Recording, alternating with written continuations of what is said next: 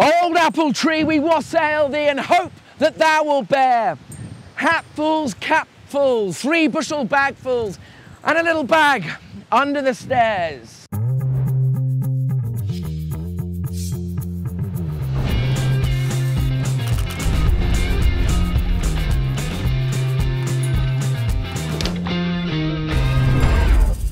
We're here in Somerset in England, the heartland of British cider production.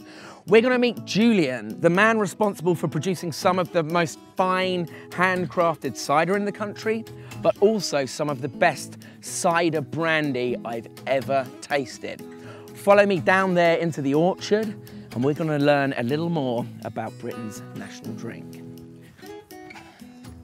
Evidence of cider making in Great Britain goes back as far as 3000 BC, where it's believed crab apples were juiced and fermented. But it wasn't until Roman occupation that our cultivating techniques and brewing practices really began to take off.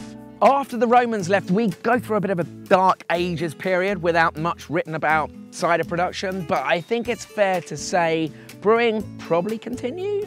I mean, they weren't just making apple pies. After the Normans invaded in 1066, they brought with them advanced press technologies, but also high tannic cider apple varieties that elevated our game even more. By the time we reached the 1800s, cider was the preferred drink of the nobility. In fact, uh, an apple and raspberry ferment was the drink of choice for ladies of the nobility. But the, the piece de resistance, the icing on the cake of British cider heritage, the Royal Society supposedly has papers that accredit a sparkling cider production uh, produced with a secondary ferment in glass bottles stopped with cork to West Country cider producers before the man who invented champagne, Mr. Dom Perignon, was even born.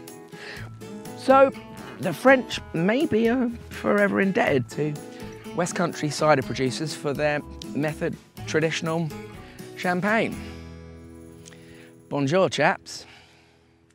I mean, the truth is that, as I said, the Normans really are accredited to bring over the tannic apples that help our cider be so good in the first place. So, lest we get too smug about things. Bonjour.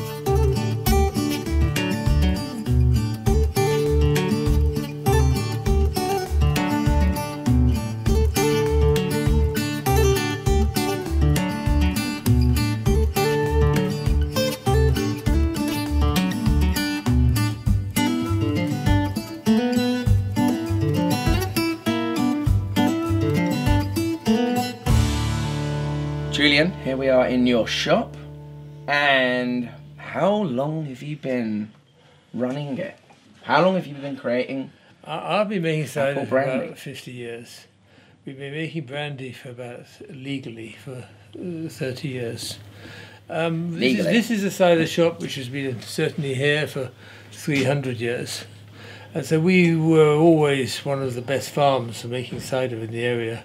The art and the craft of blending traditional cider is the art and the craft of blending the up to 200 varieties of cider apple which we grow 200 varieties. Yeah. Right. But, but we have 180 acres of orchard, which I suppose is about 15,000 apple trees.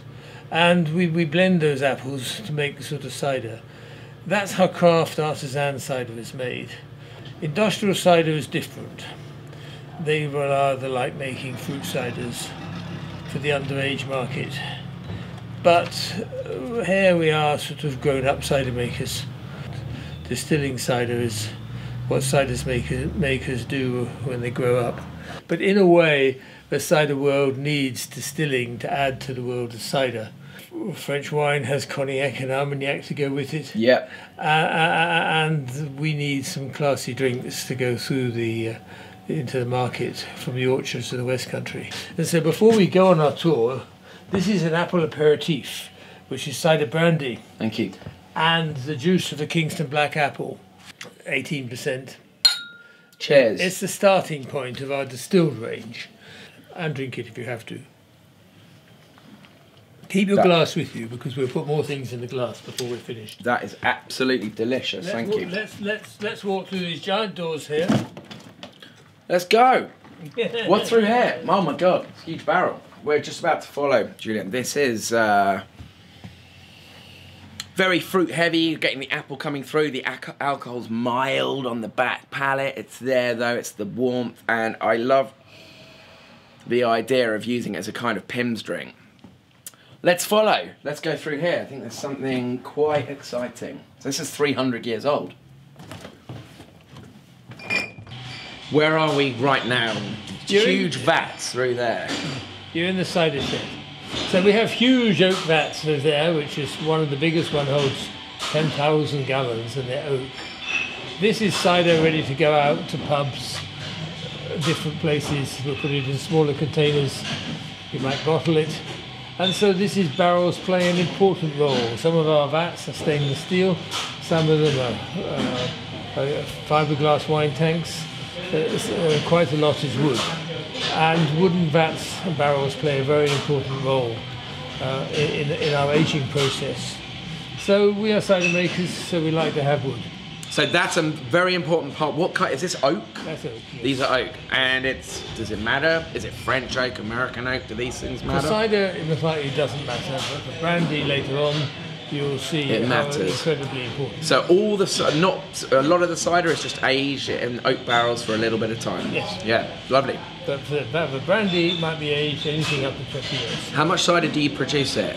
About 200,000 gallons, I suppose, a million litres. A million liters yeah. And half of that we turn into spirit.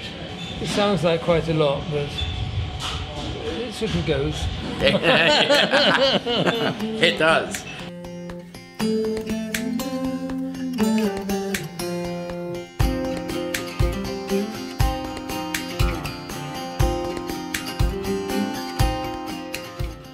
we let our viewers at home know what this book is? This is something really, really special. We'll get a close up on it in a second. This, this book. This is a treatise of cider written in, printed first in 1678. Um, and on page 190 it says you may after due fermentation extract spirits, commonly called brandy, in great plenty, very excellent, quick and burning. And then a whole lot more about the cider making process. Um, this here is very important because basically fruit makes a brandy and cereal makes a whiskey. Um, and, um, but this gives us a history to 1678. which is the first written evidence of brandy making in. In, in the past, we used to have problems with the north of the border when they said we're not brandy. But brandy, cider brandy is protected because in here. Uh, a book of 400 years old uh, defines English the whole uh, so it's quite clearly cider brandy was what was used. The words. And there we are. It's a beautiful book. It's there in front of us. It's absolutely stunning.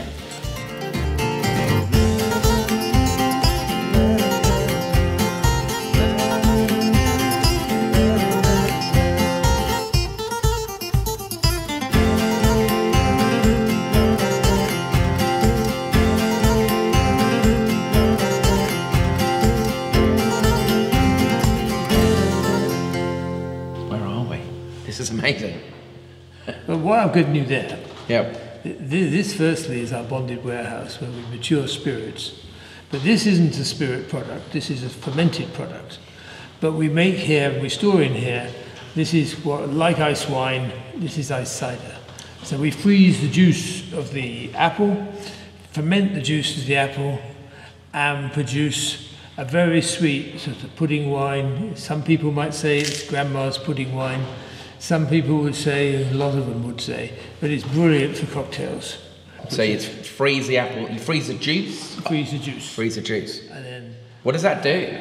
takes out the- sugar, takes out the, the, the, the, the water goes to white ice, which is just water, Right. and then leaves all the taste components behind. And then you And then we ferment it. that. Right. And- ah, that makes sense. Uh, so this is a very sweet product, and it's it's, it's a lovely um, 11% product. Cheers. Yeah. It will give you a shock. That's amazing. It'll give you a shock, but if you decide to walk off in a huff, Wow. you'd still have a lovely taste of apple for the next half an hour. It's really apple. For it's intensely apple. And intensely everything. Inten- yeah, it's almost caramelly. Yes. It's beautiful. Really beautiful. What a product. Let's drink some more. Great. Thank you. This is Somerset Pomona. We would say Pomona. Pomona, Right. from the, the, the, the Latin for god of apples or god of fruit. We would say this is the drink to go with a good cheddar. And Somerset is the home of cheddar cheese. And so this is for the cheese board, and it seems that all the cheese producers in Somerset would say this is their chosen accompaniment for good cheddar. We, uh, this morning, before we came to you, we did a cook up. We made a grilled cheese sandwich using some extra mature cheddar amongst some other Gruyere and Emmental. And uh, had we have not been driving here, we could have drunk this with it. like the heathens we are. But, but, but, but, but, certainly, It's beautiful. A, a restaurant in Somerset ought to have this on the cheese board. Absolutely. Uh, otherwise, they're missing a trick. Yeah, But actually, beautiful. London restaurants have been hugely enthusiastic and, uh, and supportive, uh, it finding its way, and we, we certainly wish to be a niche of English food and drink. And this is the flagship that we'll put this on. This is an absolutely beautiful product. This is Cheers. Cheers. Well, thank you for your knowledge. Thank you for your passion. Chen Chen, thank you for your product. And here's to cider. And here indeed is to cider brandy from yourself. And long may it continue as British tradition. So I have a daughter who you met Cheers. who's rapidly becoming in charge, and um, uh, so we have a future, and that's important. That is important. I'll drink to that. Like, subscribe, and if you haven't been here and if you haven't drunk Julian's product, get your hands on some now. It's phenomenal. Thank you. Thank you. Cheers. Cheers. Get your lips around that, Claus. Guys, that was Global Food Quest exploring cider in the West Country, getting cider delic. That's the cider bus from Glastonbury. If you haven't been here, come there, visit the farm, try their products. Cheers.